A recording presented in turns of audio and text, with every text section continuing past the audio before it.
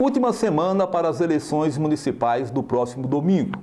A chefe do cartório eleitoral, Ana Karina Guimarães, falou a nossa reportagem quando as urnas serão entregues aos presidentes das sessões eleitorais.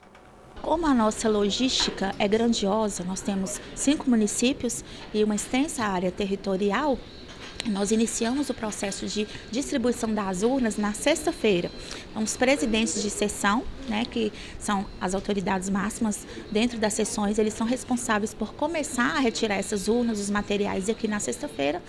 Ao longo do sábado também, nós começamos, né, estaremos distribuindo e alguns locais também a gente distribui na madrugada do sábado para o domingo. Existem localidades que precisa ser na madrugada. Então, cada região, cada localidade tem as suas peculiaridades. Então, de acordo com as localidades, a distribuição é de um jeito ou de outro. Lembrando que na sexta-feira nós saímos com as urnas, com as equipes com as urnas, escoltadas pela Polícia Militar, para começar a entrega nos demais municípios e Januária também.